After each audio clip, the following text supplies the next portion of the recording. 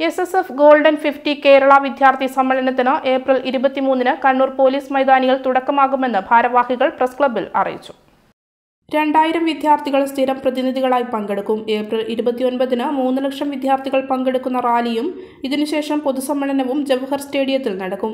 പെരുന്നാൾ ദിനത്തിൽ പോലീസ് മൈതാനിയിൽ അൻപത് കലാകാരന്മാർ പങ്കെടുക്കുന്ന മദീന പൂന്തോപ്പ് കാവ്യാസ്വദനവും പ്രകീർത്തനവും ഒരുക്കിയിട്ടുണ്ട്. ഏപ്രിൽ ഇരുപത്തിമൂന്നിന് വൈകുന്നേരം മൂന്ന് മണിക്ക് അൻപത് മുൻകാല നേതാക്കൾ പതാക ഉയർത്തും.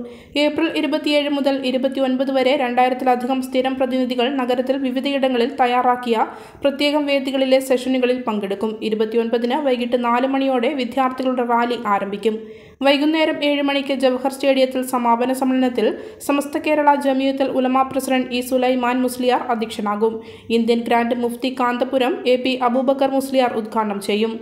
പുസ്തകലോകം mega book fair Edusign career four point വിദ്യാഭ്യാസ മേള വിദ്യാഭ്യാസ സമ്മേളനം പൊതുസമ്മേളനങ്ങൾ അഭിമുഖങ്ങൾ സംവാദങ്ങൾ ഓപ്പൺ ഫോറങ്ങൾ പ്രഭാഷണങ്ങൾ അടക്കമുള്ള വിവിധ പരിപാടികൾ സമ്മേളനത്തിന്റെ ഭാഗമായി ഒരുക്കിയിട്ടുണ്ട്.